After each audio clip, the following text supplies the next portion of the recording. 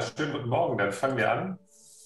Äh, ich bin Rainer Rudolph von der Deutschen Botschaft in Wien und begrüße Sie und euch alle ganz herzlich zu der äh, mittlerweile erfreulicherweise schon dritten Veranstaltung ähm, unserer äh, Tech-Reihe, die wir zusammen mit ähm, dem Forum München der DGAP veranstalten. Ich stelle Ihnen erstmal meinen Co-Gastgeber Amadeo Geigel vor. Amadeo, einmal winken, dass das alle dich sehen. Ähm, das ist eine Reihe, in der wir eben nicht so ein klassisches außenpolitisches Thema besprechen, äh, sondern übergreifend Fragen, die Innovation, Technologie und eben Politik in unseren drei Ländern, Deutschland, Österreich und Schweiz, äh, besprechen. Ähm, wir haben heute das Thema Greening Duck. Also es geht jetzt nicht um, soll ich sagen, um grüne Dächer, sondern natürlich um die Dachregion Deutschland, Österreich, Schweiz. Ähm, Money, Muscle and Mindset ähm, ausgewählt und es soll gehen natürlich um die klimafreundliche Umgestaltung unserer Gesellschaft, unserer Wirtschaft und die politischen Voraussetzungen dafür in den, äh, in den Ländern. Also ähm, Money, was kostet der Umbau, was kostet auch der Nichtumbau? Wir sprechen da zurzeit in, also jedenfalls in Deutschland und Österreich viel über die Kosten. Ähm, ähm, aber die Frage ist auch, was kostet es, wenn wir diesen, wenn wir diesen Umbau nicht machen? Muscle, was sind die Stärken und Schwächen unserer drei Länder ähm, und, und ihrer Unternehmen und Gesellschaften dort? Welchen Beitrag leisten sie? Und Mindset, haben wir das richtige Mindset dafür? Äh, was, was muss sich noch ändern? Wir haben dafür drei tolle Referentinnen und Referenten heute. Ich stelle sie mal vor in alphabetischer Reihenfolge. Anastasia Hoffmann ist Mitgründerin und CEO bei der Kitro AG. Äh, das ist ein Startup aus Zürich. Sie wird das sicher gleich noch äh, genauer darstellen, als ich das kann, äh, das eine Software zur Vermeidung von Lebensmittelabfällen entwickelt hat. Dr. Stefan Schleicher ist Professor am Wegener Zentrum für Klima- und globalen Wandel in der Universität Graz und hat sich viel mit der Transformation von Großunternehmen hin zur klimafreundlichen und kohlenstoffarmen Wirtschaft befasst und Unternehmen dabei begleitet und beraten und wird dazu sicher gleich auch noch etwas sagen. Herzlich willkommen. Und äh, Dr. Kira Finke ist neue Leiterin des Programms Klima- und Außenpolitik bei der DGAP und hat sich, ähm, war früher beim, beim Potsdam Institut für äh, Klimafolgenforschung und hat sich da über den, mit dem Zusammenhang von politischen und sozialen Folgen des äh, globalen Klimawandels befasst. Ähm, bevor wir auf das Panel gehen, wird gleich David Hagebölling einführen. Er ist Research Fellow bei der DGAP und am Hasso-Plattner-Institut äh, in Potsdam. Bevor ich jetzt übergebe an den Panel noch zwei, drei technische Hinweise. Wir wollen das ja hier äh, so, so, wie sagen, so ähnlich wie möglich wie eine echte Frühstücksrunde machen. Äh, deswegen wäre meine Bitte, lassen Sie bitte Ihre Kameras an und die Mikros aus, damit wir uns äh, alle sehen. Ähm, für die Diskussion nachher, ich schätze mal mittlerweile nach anderthalb Jahren Zoom, kennen alle die Funktionen. Ähm, wenn Sie sich an der Diskussion beteiligen wollen, dann äh, klicken Sie einfach unten auf das Handhebenzeichen oder schreiben Sie in den Chat. Das, das, das, das kriegen wir schon hin. Und äh, letzter Hinweis, noch technischer Hinweis noch von mir, äh, nur dass alle wissen, die Sitzung wird aufgezeichnet. Ähm, und damit übergebe ich jetzt an David. Bitte, du hast das Wort. Ja, sehr herzlichen Dank, Herr Rudolf äh, und Herr Geigel, erstmal dafür, dass Sie ähm, heute hier das organisieren, ähm, Raum schaffen für ein Thema, das, glaube ich, wirklich sehr wichtig ist. Und tatsächlich, äh, Sie sagten Dach, ja, Dach, es geht tatsächlich auch um Dächer, denn wer die Debatte äh, der Kanzlerkandidaten in Deutschland verfolgt hat ähm, vor einigen Tagen, da ging es auch um das Thema, ob denn nun Solarpanels also auf alle Dächer sollen oder nicht. Ähm, und also bei der DGAP ist es ja so, wir sind ja ein Außenpolitik-Think Tank äh, und beide Themen haben natürlich eine globale Dimension, Technologie und Klima. Ähm, das Technologie- und Außenpolitikprogramm, wo ich Teil von bin, das gibt es seit letztem Jahr erst. Ähm, jetzt haben wir ja ganz neu äh, das Klima- und Außenpolitikprogramm, das Frau Dr. Finke leiten wird oder leitet. Ähm, und meine Aufgabe ist jetzt so ein bisschen, bevor wir jetzt von den äh, Panelistinnen und Panelisten hören, also den wirklichen Experten, äh, vielleicht so ein paar Fragen aufzuwerfen und ein paar Themenkomplexe anzureißen, die aus meiner Sicht wichtig sind. Also das erste ist äh, natürlich erstmal technisch inhaltlicher Natur. Was sind eigentlich die Synergien von Umwelt, Klima auf der einen Seite und Technologie? Also was können wir uns von Green IT versprechen? ähm, im Rahmen dessen, was uns bevorsteht äh, an Umweltkatastrophen, auch an Umwelt- und Klimakatastrophen. Ähm, und äh, artifizielle Intelligenz beispielsweise verändert natürlich die Art und Weise, wie wir Energie nutzen, wie wir Energie verteilen. Ähm, Robotik und 3D-Drucken ja, haben das Potenzial, ähm, Industrien zu verändern, Lieferketten zu verändern. Also welches Potenzial für Effizienzgewinne haben wir eigentlich? Aber was sind auch vielleicht ein bisschen die Grenzen der Technologie, so wie wir sie abschätzen können jetzt, ähm, um realistischen Diskurs darüber zu führen? Und vielleicht ähm, am Rande auch noch, denn die Wirkung ist ja auch umgekehrt. Was kann also so eine, so eine Katastrophe wie die Klimakatastrophe als Chance für Technologie bedeuten? Wir haben das jetzt, glaube ich, bei der Pandemie ganz gut gesehen, äh, was bestimmt generell ein interessanter Vergleich ist, auch wie man auf Krisen reagiert ähm, was das bewirkt hat, also mit welcher Geschwindigkeit man da von etwas, was eigentlich der Grundlagenforschung weitgehend war, dann wirklich zu lebensrettenden Vakzinen gekommen ist. Also welche Chancen bietet hier auch die Klimakatastrophe für technologischen Fortschritt äh, und aus den Denkmustern und Regelwerken, die vielleicht manchmal einen auch zurückhalten, auszubrechen. Äh, der zweite Punkt ist, ähm, wie schaffen wir den richtigen Rahmen für diese äh, man kann es ja sagen, auf EU-Ebene wird dann normalerweise von gesprochen von dieser doppelten Transformation. Ja, also einmal hin zu einer nachhaltigeren Wirtschaft und zum anderen hin ähm, zu einer digitaleren Gesellschaft. Ähm, es gibt ja den famosen European Green Deal und das die Initiative Europe Fit for the Digital Age. Das heißt, ähm, wir sind jetzt bis 2024 ähm, bei der EU-Kommission zumindest ähm, ja in einem Zeitfenster, wo beide diese Themen gemeinsam unter den Top 6 Prioritäten sind. Ähm, jetzt im Rahmen der Corona-Krise und des Wiederaufbaufonds, der aufgesetzt wurde, also was Darlehen und Zuschüsse angeht, sind das ja fast 700 Milliarden und dann kommen noch Forschungs- und Innovationsprogramme hinzu, ähm, sind ja, wenn man das zusammenrechnet, fast 50 Prozent sollen also auf Klima- und Digitalziele einzahlen. Ähm, hier ist halt die Frage, also Deutschland und Österreich beispielsweise haben sogar über die Ziele, die vorgegeben sind, hinaus gesagt, wir wollen das für Klimaziele und Digitalziele verwenden. Natürlich ist da die Frage, ob das dann auch so gemacht wird oder ob da Programme ausgeführt werden, die sowieso schon geplant werden. Aber in der Schweiz übrigens ist es auch so, ja, dass in der Digitalstrategie der Schweiz, also Strategie Digitale Schweiz heißt die, die verabschiedet wurde, äh, Digitalisierung wirklich als wichtige Rahmenbedingung für Ressourceneffizienz beispielsweise äh, gesehen wird. Ich glaube, darüber sprechen wir vielleicht, vielleicht später auch mit einer Paneliste nochmal, ja, wie wir also effizienter beispielsweise mit Essen und anderen Ressourcen umgehen können. Also die Frage ist, haben wir dadurch die richtigen Rahmenbedingungen? Befinden wir uns, nachdem wir das jetzt politisch aufgerufen haben, auf dem richtigen Weg, regulatorisch, äh, finanziell und industriepolitisch? Und, und wie kommt das an bei denjenigen, die forschen und die halt unternehmerisch tätig sind? Und die letzte Dimension ist die internationale Dimension, die muss natürlich rein, wenn man bei der DGAP ist. Ähm, und zwar ist es ja so, die nächste UN-Klimakonferenz steht vor der Tür äh, im November. Und ähm, ich zum Beispiel ähm, forsche recht viel zu der G7 und zu den G20 äh, und auch dort ist es ein großes Thema. Die britische Präsidentschaft beispielsweise hat dieses Future Tech Forum jetzt das erste Mal geplant. Äh, ein Agendapunkt in diesem Future Tech Forum, sogar ein sehr prominenter Agendapunkt, ist tatsächlich äh, Green IT. Äh, ähnliches gilt für diesen Trade and Technology Council, den die EU mit den USA gegründet haben. Es gibt dort eine Arbeitsgruppe zu Climate and Clean Tech. Ähm, und die Frage, die sich natürlich stellt, ist zum einen, wie wichtig ist diese internationale Kooperation, was kann man da erreichen? Aber was ich auch wichtig finde, ist zu fragen, ähm, weil es eben in einen Technologiebereich geht, der international geopolitisch so aufgeladen ist, welche Rolle kann Europa und jetzt in unserem Fall spezifisch die Dachregion da spielen? Ist das vielleicht, na, ich will es jetzt eigentlich nicht Nische nennen, weil es dafür zu wichtig ist, aber ein Teilaspekt ähm, dieser Technologiepolitik, wo wir eine Führungsrolle übernehmen können und vielleicht auch eine positive Agenda äh, aufsetzen können? Also diese drei Aspekte sozusagen, was ist technologisch möglich, äh, welche Rahmenbedingungen brauchen wir und welche Rolle spielt internationale Kooperation. Das sind natürlich äh, ziemlich viele Fragen, ähm, aber ich freue mich auf jeden Fall jetzt auf die Beiträge derer, die ja wissenschaftlich oder politisch oder unternehmerisch äh, an den Antworten dann unmittelbar beteiligt sind. Ja, vielen Dank. Das war ein, ein, ein weiter Aufriss. Dann steigen wir doch gleich ein in die Praxis mit Anastasia Hoffmann wie, wie, sieht das aus äh, aus unternehmerischer Praxis? Ihr habt ein, ich habe das nur auf eurer Website gesehen, ein für mich toll aussehendes Startup gegründet für, äh, vor ein paar Jahren. Äh, ich übergebe, bitte. Ja, vielen Dank. Ähm, ich werde gleich auch meinen Screen mit Ihnen allen teilen.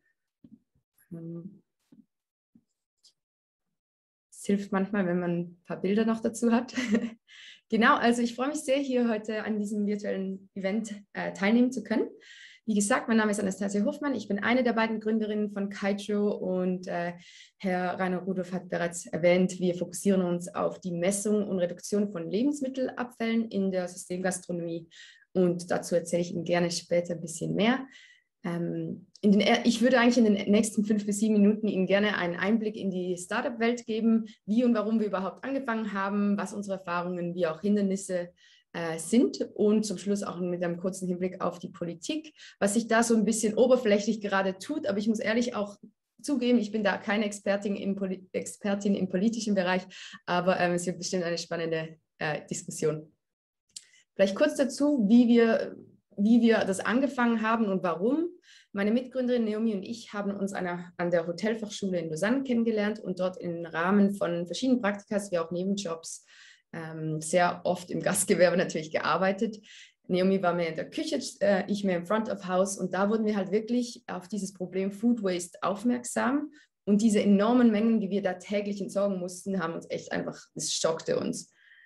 Durch diese Arbeitserfahrung ist uns nämlich dann aufgefallen, dass Mitarbeiter in Kantinen, in Restaurants überhaupt keinen Überblick haben, wie viel von was entsorgt wird.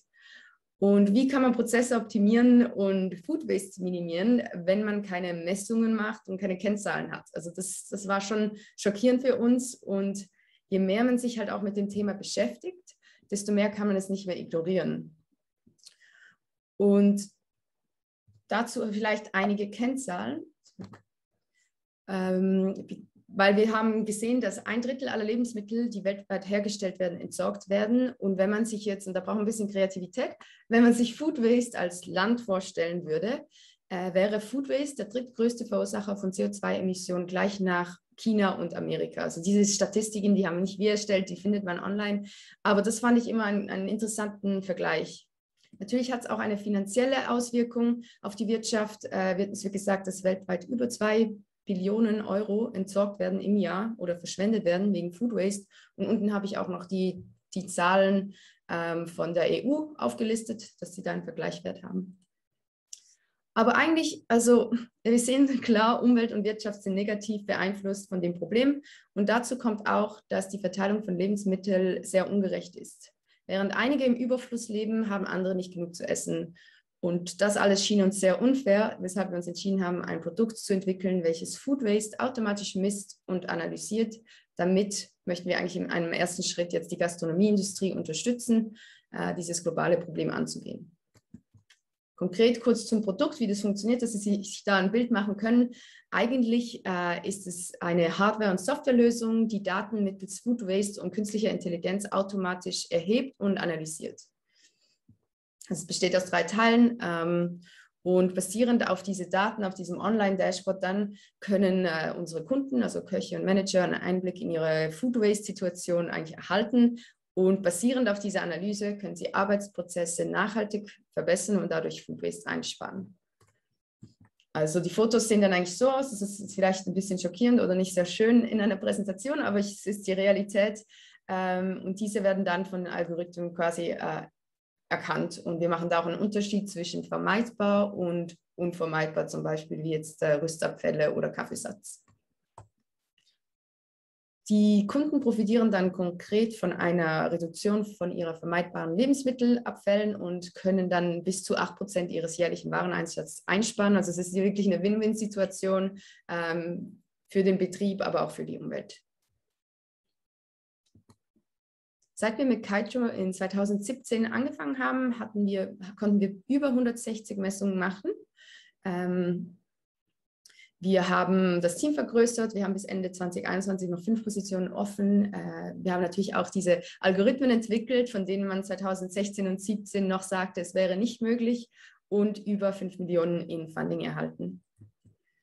Natürlich war es nicht immer einfach. Wir haben, hatten auch mit einigen Aus, Hindernissen oder Herausforderungen zu kämpfen. Äh, mit unserer Ausbildung hatten Naomi und ich wenig Ahnung von den Grenzen der Technologie und den Möglichkeiten ähm, und auch wie schwierig es sein wird, diese verschiedenen Technolo technologischen Komponenten äh, zu erstellen. Im Nachhinein muss ich sagen, das war vielleicht auch äh, unser Glück im Unglück, weil hätten wir das gewusst, hätten wir es wahrscheinlich nicht angefangen, wie schwierig das ist. Ähm, die Suche nach einem geeigneten CTO hat sich dann auch als sehr schwierig herausgestellt, weil man ja schlussendlich jemand einstellt für einen Job, von dem man eigentlich keine Ahnung hat, was die Person nachher genau machen muss. Also das war nicht einfach und der Person muss man dann halt vollstens vertrauen können. Was natürlich auch immer eine größere, größere Sorge ist bei Startups, ist die Kapitalbeschaffung. Ähm, und dabei hat uns Covid natürlich auch nicht unbedingt gerade äh, geholfen. Die meisten Kunden waren jetzt in dem letzten Jahr geschlossen und äh, dadurch sind unsere Umsätze natürlich eingebrochen, was jetzt in der momentanen Finanzierungsrunde auch nicht unbedingt hilft. Jedoch muss ich sagen, hatten wir immer sehr große Unterstützung vom, von der EU auch, von ähm, EU-Geldern, von der Schweiz, vom Startup-Ecosystem und konnten mit sehr, sehr coolen Mentoren auch äh, arbeiten, die uns vor großen Fehlern äh, bewahren konnten. Noch zum Abschluss einen kurzen Hinblick auf die Politik. Äh, Im Thema Food Waste tut sich seit einigen Jahres, Jahren vieles. Äh, während einige Länder wie China oder Singapur auch bereits konkrete Food Waste-Gesetze in gewissen Branchen implementiert haben, äh, sind wir auch in der EU noch nicht ganz so weit, aber es, es tut sich einiges, äh, wie wir vorhin schon gehört haben. Die Sustainable Development Goals der UN möchten ja Food Waste bis 2030 halbieren. Und da hat die EU auch jetzt schon erste Schritte veranlasst, um Standards äh, zu definieren. Was mich persönlich erfreut hat, äh, ist wirklich, dass anscheinend bis Ende 2023 konkrete Methoden und Methoden und Ziele zur Messung von Food Waste definiert sein sollen. Und da schauen wir jetzt nach, natürlich auch, wie wir uns bei diesem Gespräch einbringen können. Unser Ziel ist es wirklich bis äh, 2025 80 Millionen Gerichte zu retten. Und um dies zu erreichen, beenden wir dieses Jahr noch unsere Finanzierungsrunde, konzentrieren, konzentrieren uns weiterhin auf die Produktentwicklung, um in den kommenden Monaten dann auch nach Deutschland, Österreich und Frankreich zu expandieren. Also falls Sie Interesse haben, mehr dazu zu erfahren, äh, freue ich mich natürlich sehr, wenn Sie mit mir in Kontakt treten und ähm, ja, freue mich auf, auf die Diskussionsrunde nachher. Vielen Dank. Ja, ja, super, vielen Dank. Ähm, das war, war, spannend und anschaulich. Ich kann nur sagen, also die Situation, dass man jemanden einstellt, von dem man hinterher noch nicht weiß, was er oder sie genau machen wird, gibt es auch in anderen Lebensbereichen, aber das, äh, das, ist ein anderes Thema. Ich übergebe jetzt weiter an ähm, Kira Finke, ähm, die, glaube ich, nicht ganz bis zum Schluss bleiben kann. Deswegen würde ich jetzt an Sie übergeben. Vielen Dank. Ich freue mich sehr, heute äh, mit Ihnen diskutieren zu können. Mein Name ist Kira Finke. Ja, ich wurde schon kurz eingeführt. Ich habe am 1. September angefangen, das neue Zentrum für Klima- und Außenpolitik bei der DGAP zu leiten.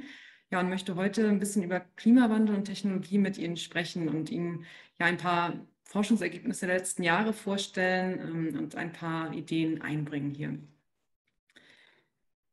Ja, wenn wir über Klimafolgen und äh, Technologie nachdenken, dann geht es zum einen um natürlich um Emissionsminderung, also um die große, große Herausforderung, dass ein Teil der fossilen Energien, der, der größere Teil tatsächlich der bekannten Reserven im Boden bleiben muss.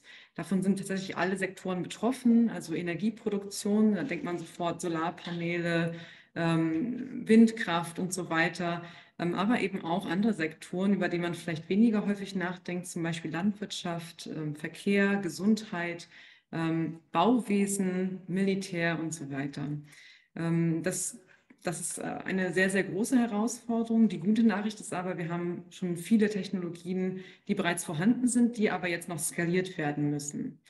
Ähm, dann der Bereich Anpassung. Wir haben auch in Deutschland gesehen, es gab riesige Hitzewellen, es gab Veränderungen in der Landwirtschaft, die eben auch hier erfordern, dass äh, neue, aber auch alte Technologien eingesetzt werden, um sich an Klimafolgen anzupassen. Ähm, das sind zum Beispiel bessere Vorhersagen, Vorhersagen über ähm, das Wetter, also kurzfristige Mehrtagesvorhersagen, dann Klimaprojektionen, also wie entwickelt sich äh, unser Wetter langfristig und äh, auch Ernteertragsvorhersagen. Das ist sehr wichtig, damit Staaten in der Lage sind, äh, zum Beispiel Vorräte anzulegen, wenn sie wissen, dass ein bestimmter Teil der Ernte beispielsweise von Hirse oder ähnlichem äh, ausfallen wird. Ähm, dann braucht man auch bessere Informationen für Versicherer, sodass Schäden ähm, durch Klimafolgen, durch Extremwetterereignisse besser abgesichert werden. Und auch äh, müssen wir uns im Bereich äh, Climate Smart Agriculture verbessern, Präzisionslandwirtschaft durchführen, weil eben das, da verbinden sich die beiden Punkte Anpassen und Minderung, weil wir eben auch durch äh, die industrielle Landwirtschaft ähm, ja zwar zu einer erhöhten Produktion äh, gekommen sind, aber der negative Effekt ist eben, dass wir ähm, eine sehr äh, emissionsintensive Landwirtschaft haben mit großen Landnutzungsänderungen, die eben ähm, ja auch durch den extremen Einsatz von Pestiziden und Düngemitteln sehr, sehr negative Effekte auf unsere Umwelt äh, erzielt hat. Ähm, gerne möchte ich Ihnen eine Methode vorstellen, kurz. Ähm, das ist eine Methode, die erst vor ein paar Jahren entwickelt worden ist. Ähm, die früheste bisher bekannte Monsunvorhersage, die sehr erfolgreich war die letzten Jahre, eben den Einsatz und den Rückzug des Monsuns, des Sommermonsuns in Indien äh, zu ja, projizieren, zu prognostizieren. 40 Tage im Voraus, 70 Tage im Voraus für den Rückzug des Monsuns. Warum ist das so wichtig? Also, dass, dass es an einem deutschen Forschungsinstitut entwickelt worden ist ähm, und jetzt auch in Indien äh, zum Teil zum Einsatz kommen tatsächlich ähm, für die Vorhersage des Monsuns, weil nämlich dann äh, Farmer wissen, wann können sie äh, beispielsweise sehen, wann sollten sie düngen, äh, wann sollten sie die Ernte einbringen. Ähm, dafür sind solche Informationen von entscheidender Bedeutendheit.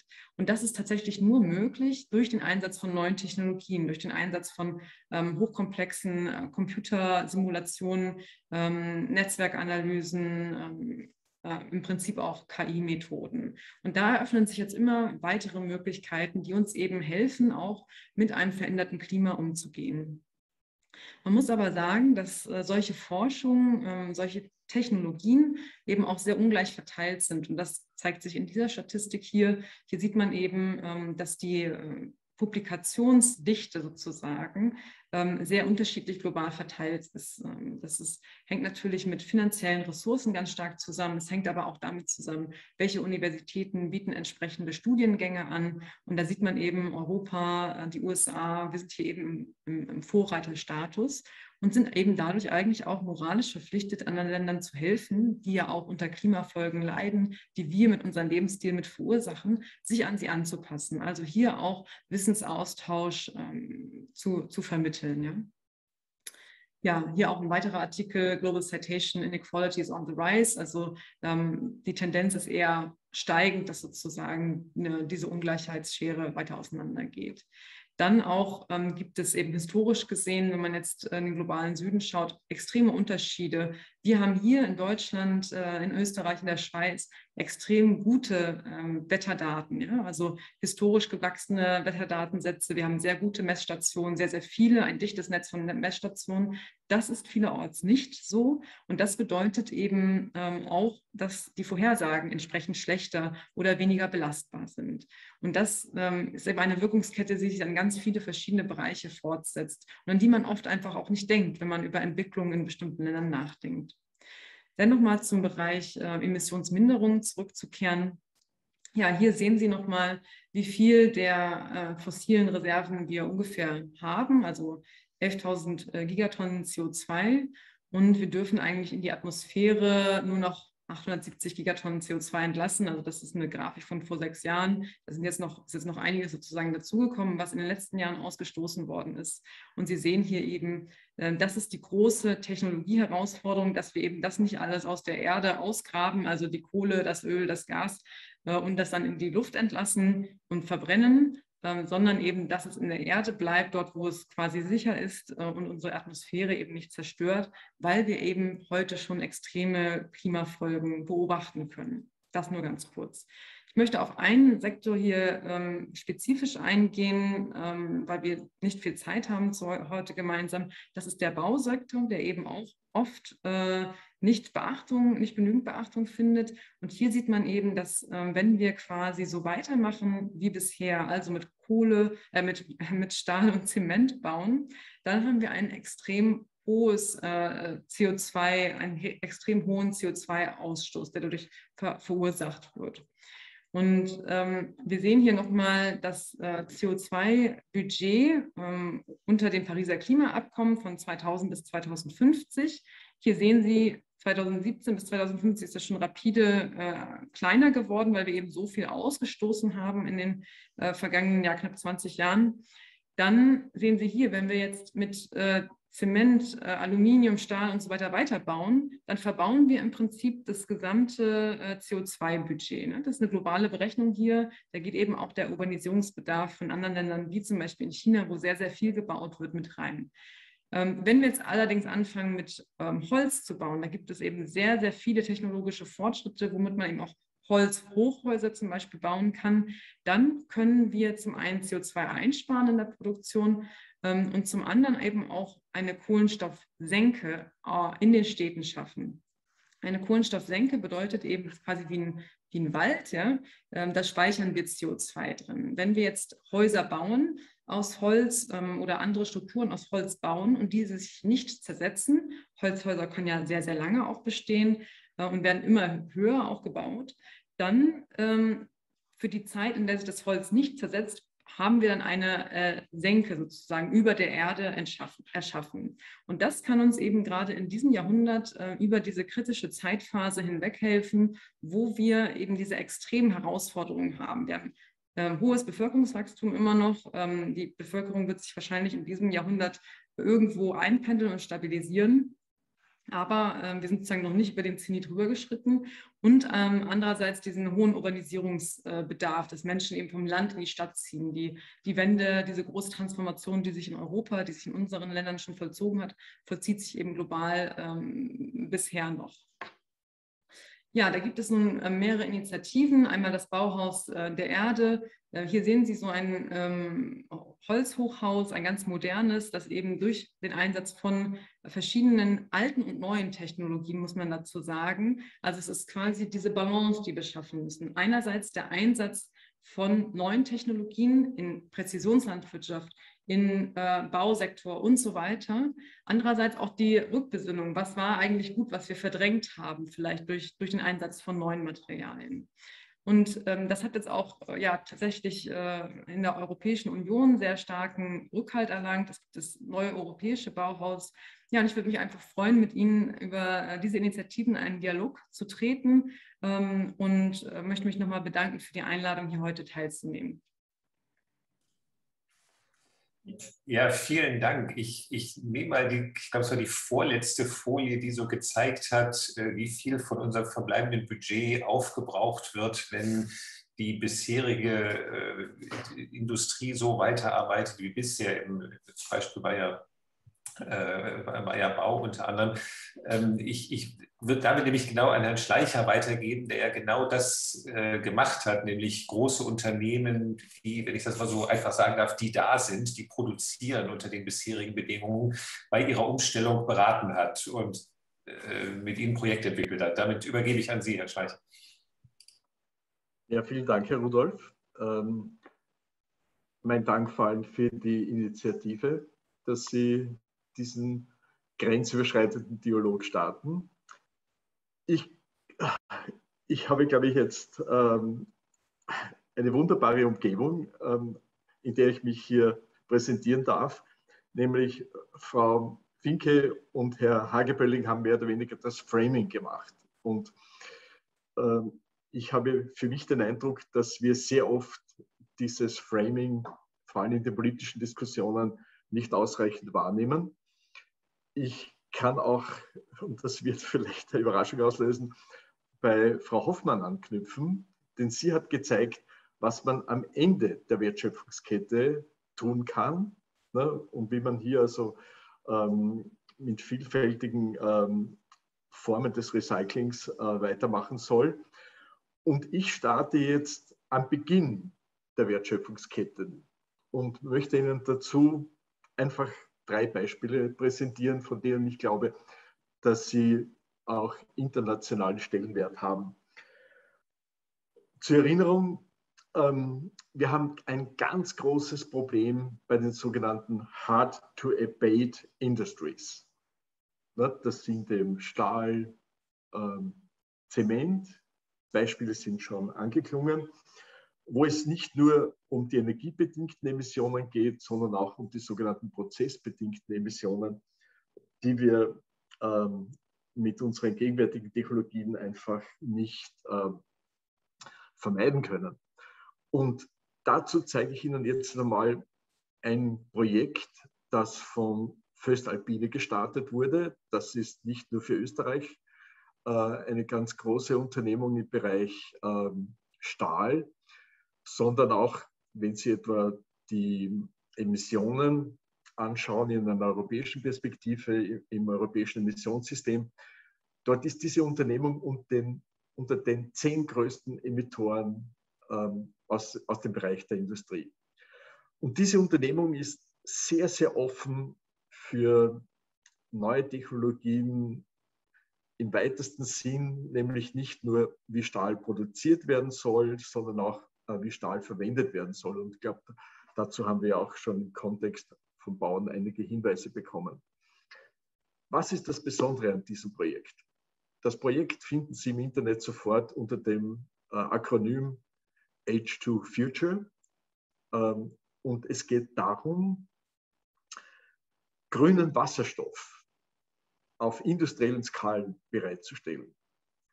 Grüner Wasserstoff heißt eben, dass der Wasserstoff aus ähm, Primärenergiequellen kommt, die eben nicht fossil sind, im Speziellen aus ähm, erneuerbaren, äh, aus erneuerbaren Elektrizität.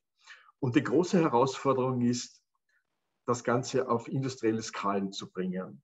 Und das sehen Sie, wie es im Innern jetzt dieses Gebäudes aussieht, nämlich der Kern sind ganz spezielle Membrantechnologien für die sogenannten Elektrolyseure. Das ist eine große Herausforderung und hier gibt es eine große Kooperation mit Siemens und das ist der Lernprozess dieses äh, Projektes. Das Projekt hat auch ein sehr hohes EU-Funding bekommen, ungefähr 18 Millionen ähm, von der Europäischen Union. Ich setze fort bei meinem zweiten Beispiel. Das ist das Projekt C2PAD. Und das ist der Akronym für Carbon to Products. Carbon to Products und AT steht dann noch für Österreich. Und dieses Projekt geht eigentlich jetzt noch einen Schritt weiter als das FÖST-Projekt, nämlich was passiert hier? Wir starten bei einer Zementfabrik. Ne? Das ist die größte äh, Anlage für Zement in Österreich, die von Lafarge Holcim betrieben wird. Ähm, und dort wird dann das CO2 abgeschieden. Das ist jetzt ein Strang. Und der zweite Strang ist jetzt wiederum die äh, Bereitstellung von Wasserstoff aus erneuerbarer Elektrizität über eine Elektrolyse. Und beides zusammen wird dann verarbeitet in einer Raffinerie, in unserer großen Raffinerie in Schwächert, betrieben von der OMV. Und was entsteht dort? Ähm, Kraftstoffe und sogenannte äh, Olefine, beide auf der Basis letztlich von erneuerbaren Inputs. Und dann geht es weiter zur Unternehmung Borealis. Ne, das ist unsere größte Unternehmung im Bereich der Kunststoffe. Und dort sollen eben ähm, Kunststoffe, Polymere entstehen, die dann interessanterweise wieder rezyklierbar sind. Und was ich hier nur zeigen möchte, ist eben, dass es denkbar ist, äh, sogar in diesem Bereich Kohlenstoff zu rezyklieren.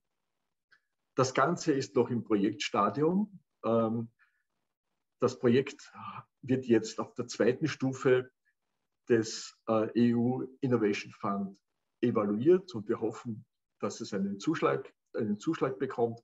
Aber es wäre ein Meilenstein, um zu zeigen, wie im Bereich dieser Hard-to-Abate Industries Kohlenstoffkreisläufe initiiert werden können. Und natürlich gibt es hier dazu noch, noch sehr viel zu sagen.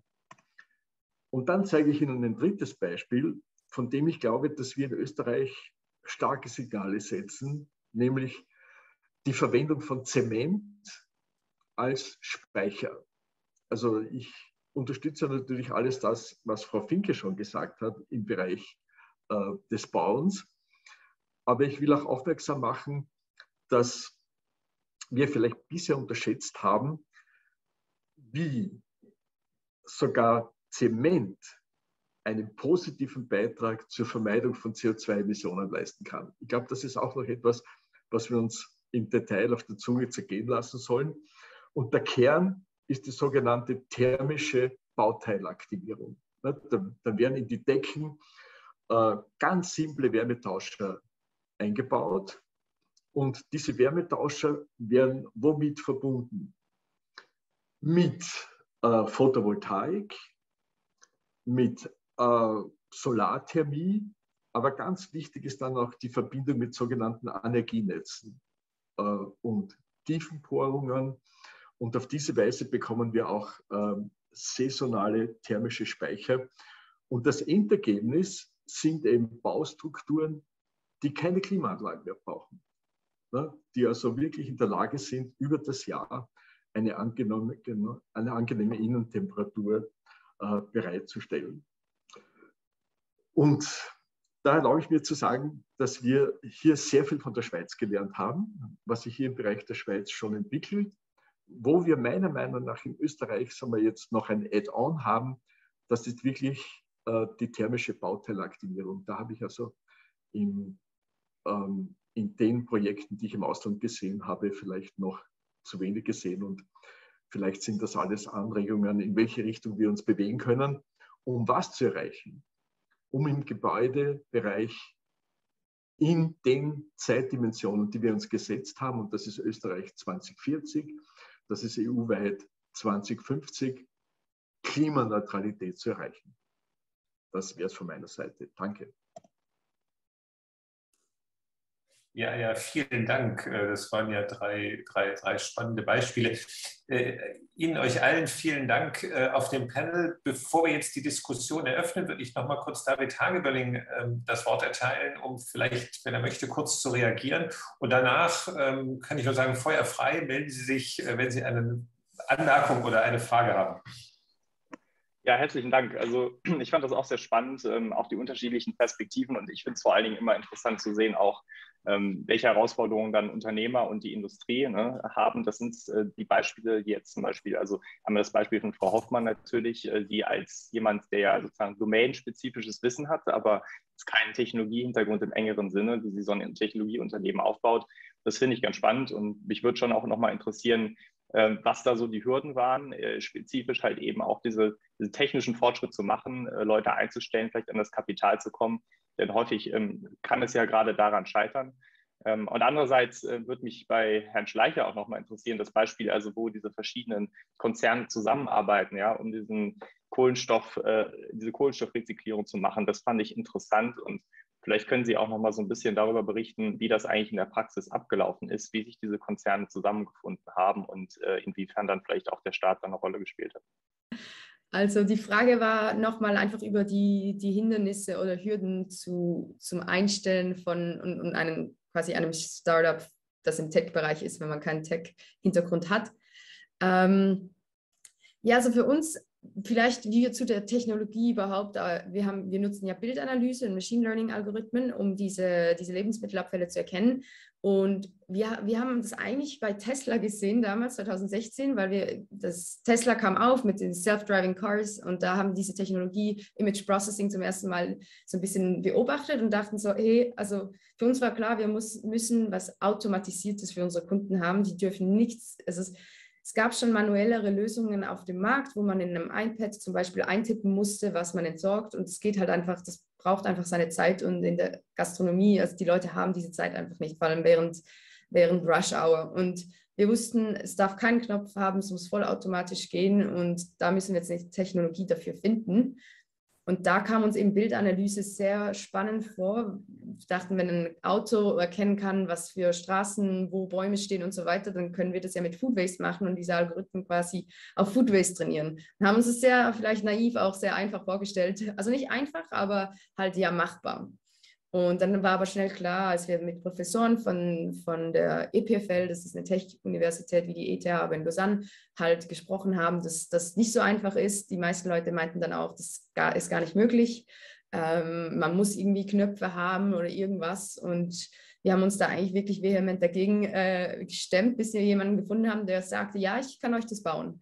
Und ich so, okay, cool. Und dann haben wir mit dem halt angefangen. Das war unser erster CTO dann. Ähm, aber mit dem hat es dann leider auf einer persönlichen Basis überhaupt nicht gepasst. Der hatte auch andere Ziele in dem Unternehmen. Also wir hatten sehr klar unsere Werte und warum wir das machen. Und er war da anders aufgestellt. Ähm, und es hat dann wirklich einfach so nicht gepasst. Und dann musste er leider wieder gehen.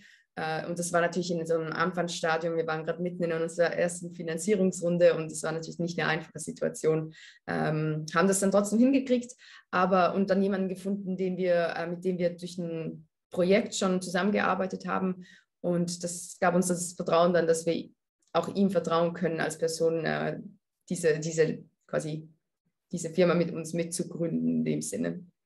Ja, also. Also vielleicht um zuzufügen, warum mich das interessiert ist, ähm, den einen Punkt, das ist auch auf europäischer Ebene, wenn man darüber spricht, was sind sozusagen auch Bereiche und Nischen, wo europäische Länder Technologie, technologisch führend sein können. Häufig ist der Punkt, dass wir in Europa unfassbar viel domainspezifisches Wissen haben. Ja? Ob das jetzt in der Industrie ist oder ob das jetzt beispielsweise im Bereich äh, äh, Hotellerie oder so ist und äh, wo dann immer die Hürde ist, wie kommt man eigentlich von diesem domainspezifischen Wissen, das häufig in Europa oder zumindest, also ich kann es ja jetzt aus deutscher Perspektive sagen, industrielles, wie kommt man dann hin zu einem Technologieunternehmen, ja? ähm, personell und auch vom Ökosystem her. Und deswegen hat es mich sehr interessiert, was, was so die Hürden sind. Aber bei euch war das ja dann so, dass ihr wahrscheinlich auch einfach äh, die richtige Person gefunden habt in diesem Moment, äh, vielleicht auch durch die Universität, die vor Ort war. Ja. Genau. Also wir hatten auch viel Glück, muss man auch sagen. Ja. Ähm, also ich sage natürlich, ich bin wirklich sehr, sehr beeindruckt von dem, was die Frau Hoffmann uns hier erzählt. Und ich kann auch hier wiederum anknüpfen. Ähm, ich glaube, die, die Grundstrategie lautet jetzt immer wieder, bisherige Sektorgrenzen zu verlassen. Ne? Also, und das gilt für das Beispiel, das ich versucht habe, ähm, in, für dieses C2PAD-Projekt Ihnen zu präsentieren, genauso. Wie ist hier die Genesis? Die Genesis liegt interessanterweise bei der Zementindustrie. Und zwar äh, gibt es, äh, ist mir gesagt worden, innerhalb von, ähm, von Lafarge Holcim einfach eine Absicht, ich sage das sehr vorsichtig, irgendwo einfach einmal auszuprobieren was in diesem Bereich denkbar wäre. Und aus irgendeinem sehr erfreulichen Grund ist dafür Österreich gewählt worden. Und dort gibt es innerhalb des Managements wirklich eine sehr, sehr aktive Suche nach Möglichkeiten, wie die Zementindustrie in 10, 20 und 30 Jahren aussehen könnte. Das ist sozusagen der Nukleus der Ideenbildung. Und dann ist dazugekommen Verbund, das ist unsere größte äh, Unternehmung im Bereich der Bereitstellung von Elektrizität, die für sich darauf gekommen ist, ne, dass Elektrizität eine Schlüsselrolle spielen wird bei allen Transformationsvorgängen, die wir uns in der nächsten Zeit vorstellen können. Und im Speziellen bei der Industrie mit Wasserstoff. Das heißt, es war sehr äh, naheliegend für Verbund, sich im Bereich Wasserstoff jetzt stark zu machen. Und es gibt dort sehr intensive äh, Forschungsaktivitäten in diesem Bereich. Sodass das jetzt im ersten Schritt das naheliegend war, dass sich ähm, diese, äh, dass sich Lafarge im Bereich Zement mit Verbund über Wasserstoff einmal gefunden haben. Und die nächste Frage war natürlich jetzt, ist es wirklich denkbar, ne, dass wir bei der Abscheidung von CO2 nicht bei einer Speicherung bleiben, sondern auch in die Utilization gehen. Und da war es naheliegend, im nächsten Schritt eine Unternehmung als Partner zu suchen, die hier schon Kompetenz hat. Ne, und das war im nächsten Schritt die OMV. Ähm, und Borealis ist dann deswegen dazu gekommen, weil es natürlich naheliegend war, die Grundstoffchemie die von der OMV kommt, jetzt in hochwertige Polymere äh, zu, ver zu verwandeln.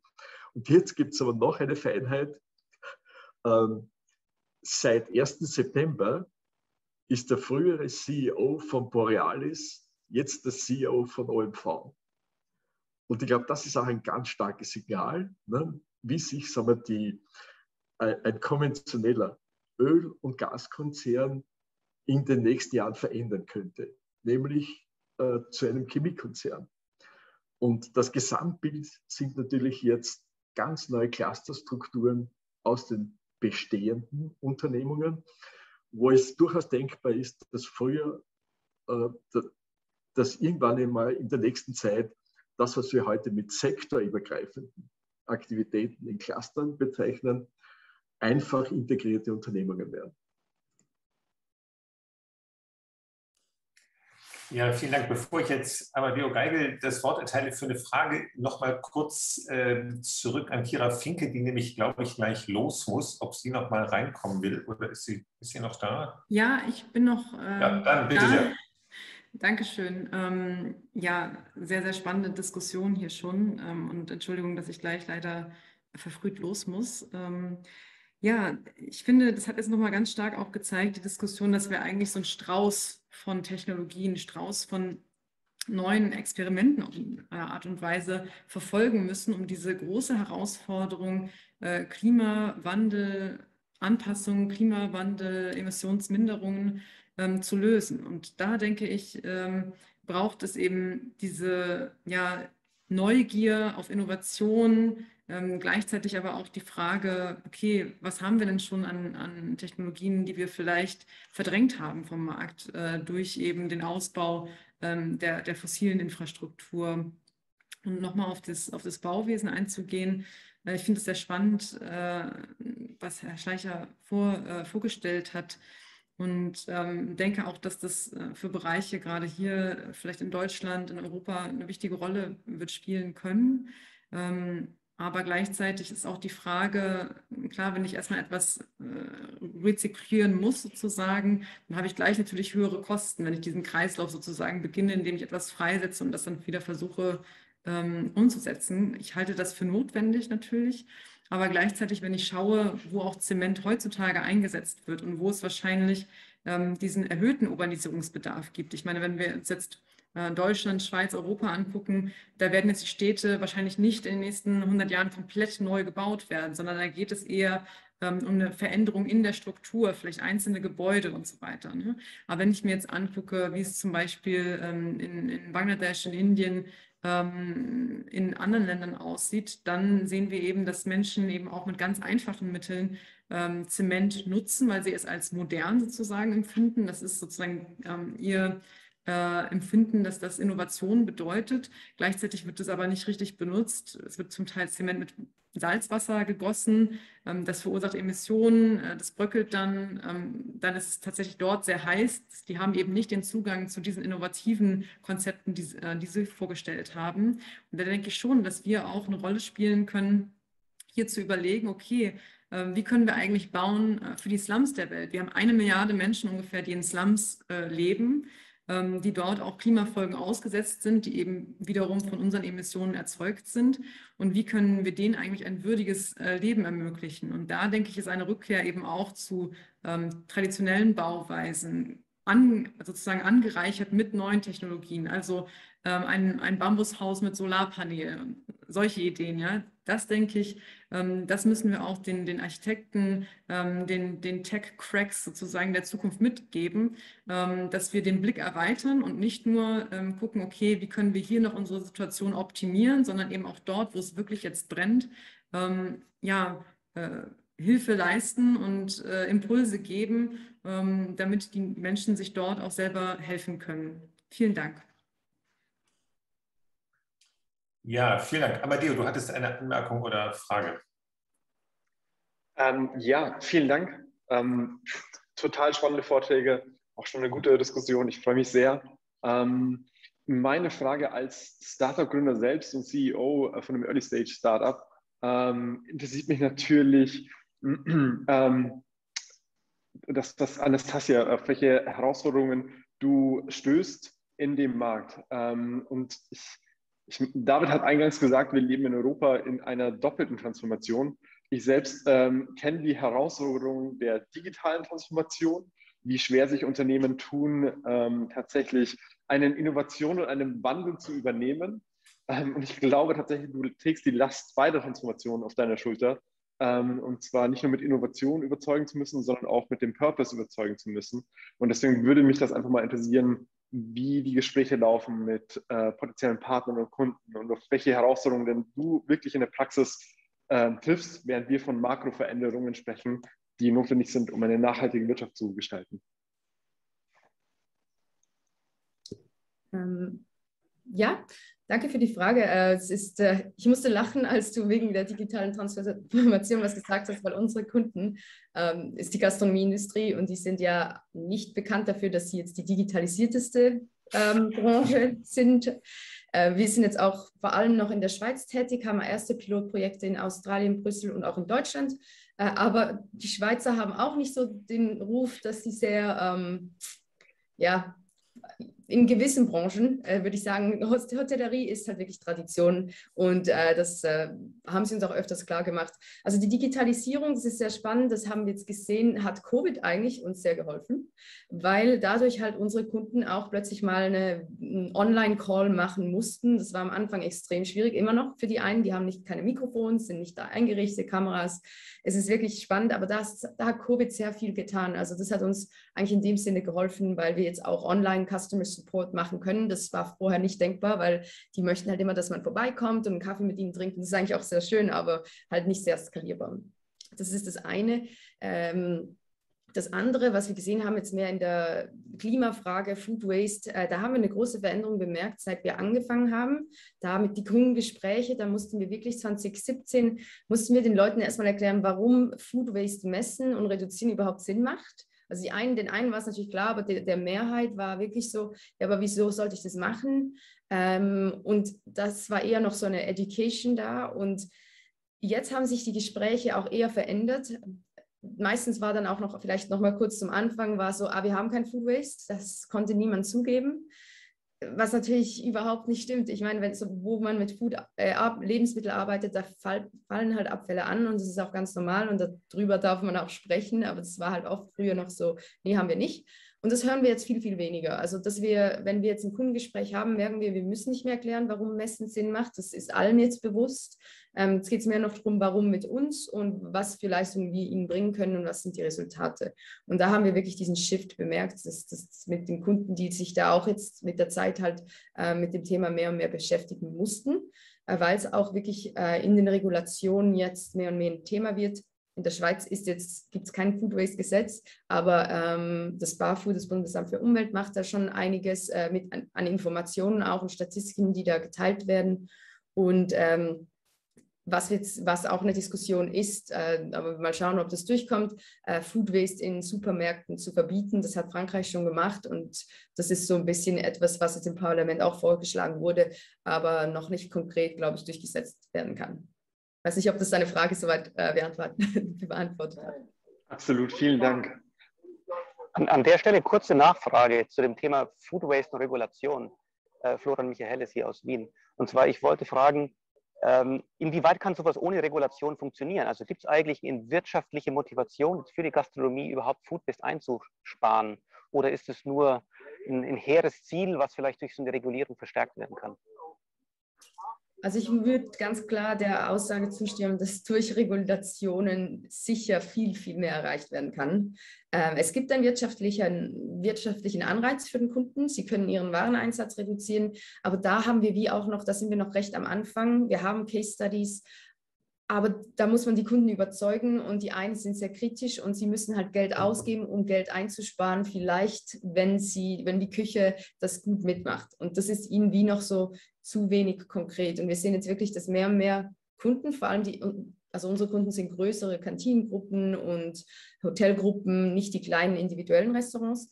Aber ähm, die haben meistens, diese Gruppen haben meistens schon so äh, Nachhaltigkeitsziele, wo sie auch Reporting machen müssen. Und Food Waste ist eigentlich sehr ein gutes, ein gutes Reporting, dass man über das machen kann, wenn man es misst, weil dann hat man direkt schon eine Nummer, äh, eine Zahl dahinter. Weil das ist ja öfters das Problem bei Nachhaltigkeitsthemen, dass man vielleicht auch nicht unbedingt an die Zahlen kommt. Und ich meine, wir können dann einen Durchschnittswert für ein Kilo Food Waste und so viel CO2-Äquivalenz können wir geben. Das ist natürlich ein Durchschnittswert, muss man ganz klar sagen, weil wo, ob man jetzt eine Erdbeere im Sommer aus der Schweiz isst oder im Winter aus Spanien oder wo auch immer her, das ist ganz ein großer Unterschied. Aber ähm, man kann da wenigstens etwas reporten und, und sehen, ob man sich in die richtige Richtung bewegt. Aber um zurückzukommen, ich, ich würde von der Politik erwarten, dass Regulationen kommen, ähm, dass vielleicht finanzielle Anreize von der Politik auch ähm, dadurch äh, verstärkt werden können, weil nur so sehe ich, dass wir wirklich dieses Ziel von 2030 Food Waste zu wirklich erreichen. Ja, vielen Dank. Ich höre gerade, wir müssen gleich ein paar Minuten früher Schluss machen. Von daher würde ich jetzt einmal David Hagebeling fragen, ob er noch eine Frage oder Anmerkung hat. Ähm, vielleicht einfach eine kurze Anmerkung, auch einfach jetzt äh, aufgrund des Kitro-Beispiels. Also was ich daran interessant finde, ist, dass äh, mein Eindruck lange war, dass gerade im Bereich Food der Fokus sehr stark darauf war, also wo kommt das Essen her? Ähm, ist es sustainable, kommt es aus der Region beispielsweise, werden Transportkosten vermieden? Und dass da jetzt die andere Seite angeht, also dass man halt dadurch, dass man rausfindet, was man eigentlich verbraucht, was man auch vielleicht verschwendet, ähm, überhaupt den, die Gesamtmenge des Konsums erstmal reduziert. Ne? Und ich glaube, das, das sind so Parallelen und vielleicht Umdenken, dass es in einigen Industrien gibt. Ich kann das vielleicht anmerken, ähm, am Hasso-Plattner-Institut ähm, gibt es einiges an Forschung zu ähm, sozusagen auf der Computer Science, auf der Informatikseite dazu, wie man äh, so nachhaltiger werden kann und was man halt schon sehr stark sieht, zum Beispiel, dass es im Hardware-Bereich verfolgt wird, weil es da den wirtschaftlichen Anreiz gibt, also das kam ja auch gerade mal zur Sprache, dass man eben weniger Energie verbraucht, dass man halt auch einfach technisch weniger Wärme imitiert, ähm, weil man dann leistungsfähigere Systeme bauen kann. Aber auf der Software-Seite zum Beispiel häufig die Anreize noch nicht so stark ausgeprägt sind. Also das ist halt für einen Softwareentwickler, der sozusagen beginnt, etwas zu schreiben für eine Hardware noch gar nicht so im Kopf oder im Mindset ist, dass er die Software nicht nur sagen aus Effizienzsicht, was den, den Computational Task angeht, schreibt, sondern auch immer im Kopf hat, welche Effizienz aus, sozusagen Effizienz oder Energieauswirkung später der Gebrauch dieser Software hat. Wir haben das im Bereich künstliche Intelligenz also ganz stark, was einerseits eine Chance ist, äh, um vieles effizienter zu gestalten, aber andererseits natürlich auch wahnsinnig viel Emissionen äh, produzieren kann. Also insofern das eine kleine Anmerkung. Ich finde das spannend, weil sich vieles äh, davon, was jetzt also in diesem Bereich, der erstmal ganz anders scheint, äh, als vielleicht es jetzt bei Serverinfrastruktur der KI ist, äh, doch so viele Parallelen gibt. Ja, vielen Dank. Also wir müssen jetzt äh, leider schon fast zum Schluss kommen. Ich muss ehrlich sagen, erstmal vielen Dank, ähm, David und den drei Panelistinnen und, und Panelisten. Ähm, ich muss ehrlich sagen, ich bin nach dieser Runde eigentlich ähm, optimistischer als vorher, ähm, was für mich jedenfalls selten vorkommt, wenn man sich mit dem, mit dem Thema Klimawandel beschäftigt. Anastasia Hoffmann hat eingangs gesagt, auf ihr, auf ihr Unternehmen bezogen, ähm, äh, man hatte keinen Überblick. Ähm, ähm, und das gilt ja für, für glaube ich, für relativ viele Aspekte dieses Themas. Für mich ist ehrlich gesagt sehr anschaulich geworden, sowohl bei dem, bei dem Startup-Beispiel von Anastasia Hoffmann, aber als auch bei den ähm, Beispielen aus der Großindustrie, die Herr Schleicher vorgestellt hat. Es gibt einen Business Case äh, für Nachhaltigkeit und, und für Klimaschutz. Ähm, das wäre mein erstes Takeaway. Und das zweite ist, ähm, ähm wir sind in der Region glaube ich, ganz gut aufgestellt dafür. Also ich erinnere noch mal an die Landkarte, die Kira Finke über wissenschaftliche Publikationen äh, eingeblendet hat, wo Europa sowieso grün und übrigens die Schweiz, wenn ich es auf meinem Monitor hier richtig erkannt habe, ganz besonders dunkelgrün äh, markiert war. Wir haben jetzt relativ wenig gesprochen über die politischen Rahmenbedingungen. Einige haben das angerissen. Ich glaube, das wäre noch mal eine eigene Diskussion wert. Ähm, was für mich auch äh, bei diesem Aspekt, wir sind gut aufgestellt, interessant war, war der Aspekt geografische Nähe. Herr Schleicher hat das am Beispiel zwischen Österreich und der Schweiz ähm, geschildert. Ähm, aber über diese Einzelbeispiele hinaus scheint mir dann eben doch das für mich ganz interessante Ergebnis, wir sind relativ gut aufgestellt in Europa. Und dann bleibt die Frage natürlich, die Kira Finke, die jetzt leider gehen musste, was bedeutet das äh, für unsere Verantwortung für die globale Herausforderung äh, Anpassung und Vermeidung, Anpassung an den Klimawandel und, und äh, weitere Vermeidung. Damit schließe ich jetzt für heute Ihnen allen vielen Dank, besonders natürlich denen, die aktiv beigetragen haben auf dem Panel und äh, David für seinen Beitrag und wünsche Ihnen allen in Österreich, in Deutschland und in der Schweiz noch einen schönen Freitag und ein schönes Wochenende. Vielen Dank.